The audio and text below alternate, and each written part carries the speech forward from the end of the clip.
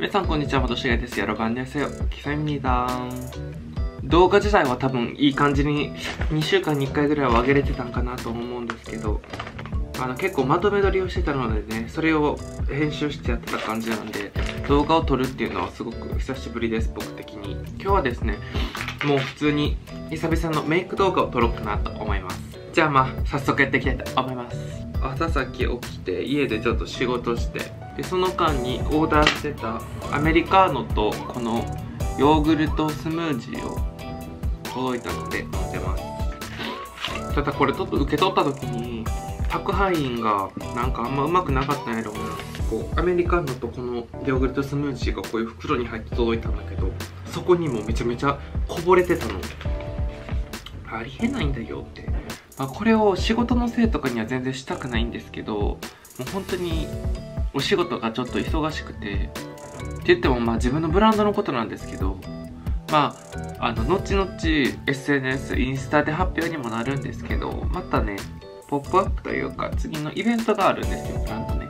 発売に関しての。それでちょっとやることが多くてでももちろん新作の準備だったりとか、まあ、ポップアップだったりそういう場所とかそれにあたる撮影とかもいろいろあって全部一人でやってるからもう言ったら仕事がいっぱいっていうか一人でさばくには大変すぎてパツパツって感じなのね。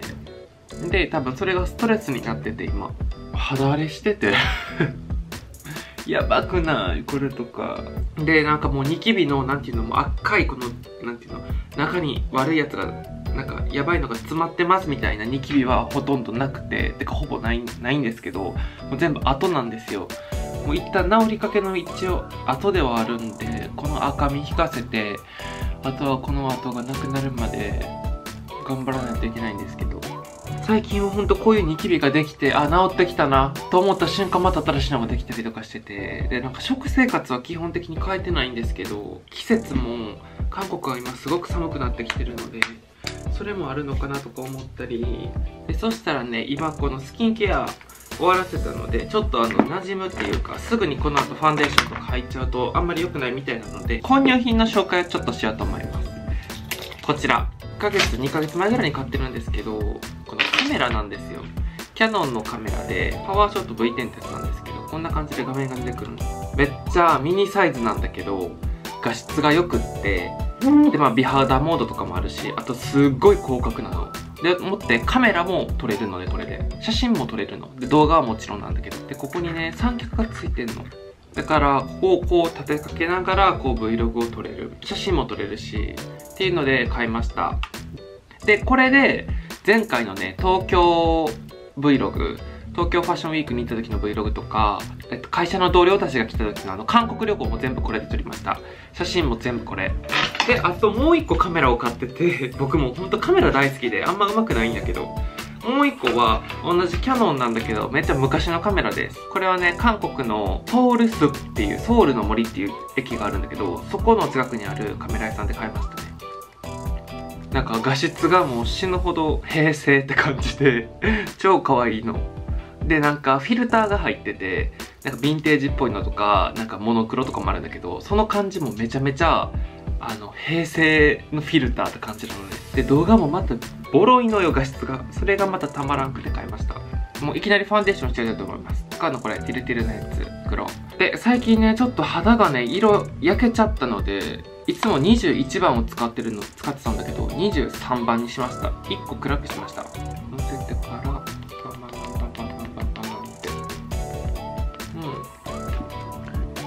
めっちゃ化粧のり良くない？これ。ファンデーションとのこのファンデとの組み合わせも結構いいかも。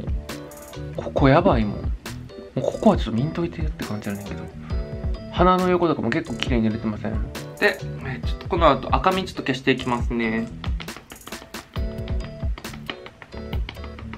とな感じで今ファンデーションとか終わりました？ちょっとごめんなさいね。ここはニキビパッチが貼ってるので上からどんやっぱコンシーラーとか塗ってもちょっと隠せないがあれが出るんですけど。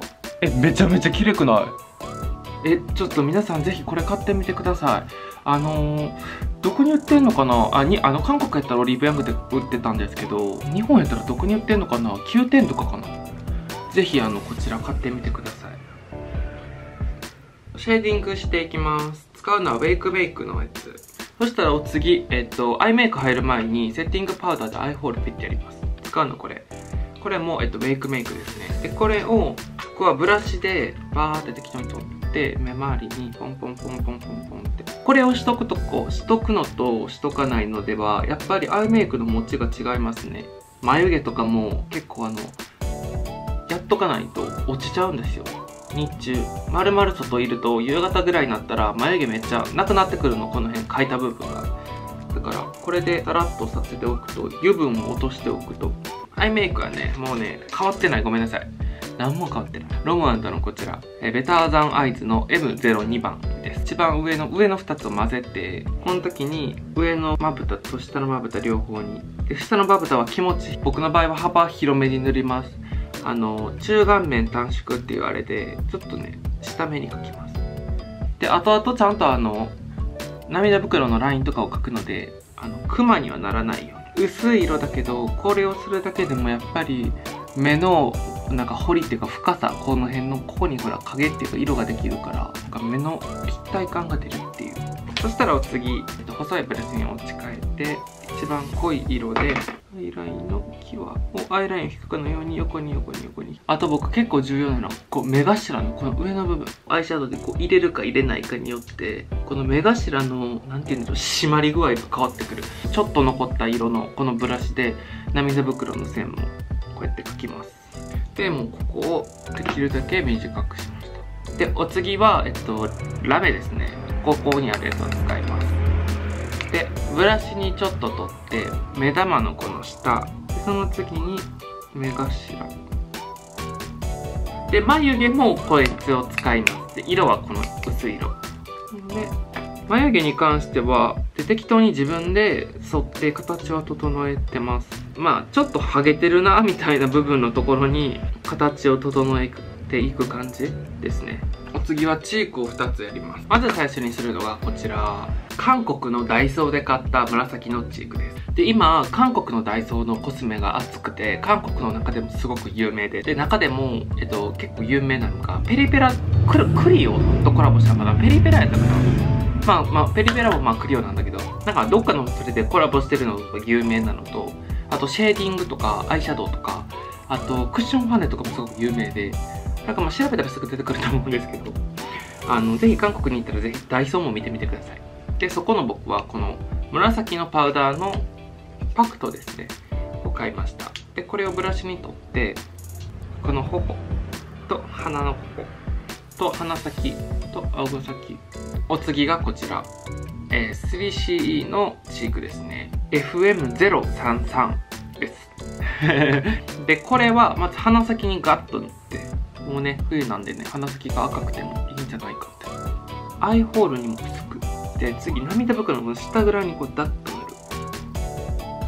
小鼻のよりは上なんだけどど真ん中よりは下。この辺ぐらいにトントントントントントントン。トンなんかこうすると顔全体にチークの統一感が出てちょっとふわんとしたイメージが出るそうです。体とまだ色大丈夫だよね。若干顔の方が明るいけど。リップはこちらまず最初ですね。この 3CE の、えーと、ウォーターブラーティントを使います。あ嘘。ブラオウォーターティントです。色味は、えー、ワースっていう。で結構可愛くて大きくブワーって塗ってうまーってした後に手で血をぼかす。でこれを2回ぐらい繰り返す。まずこの色味が何とも言えないピンクベージュなんだけどちょっとベージュ感も強いのかなと思ったりちょっとピンク味が強かったんかな強いんかなって思う超独特な色味なの。んで今イエローベースとかブルーベースって言われてるんだけど両方の方が使えるって言われてます。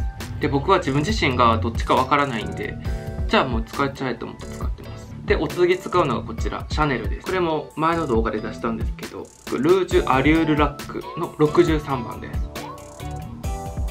でまあメンズやったらここでもいいんですけどまあここにさらにあのテカテカにしたいって人は上からこういうの塗っちゃって。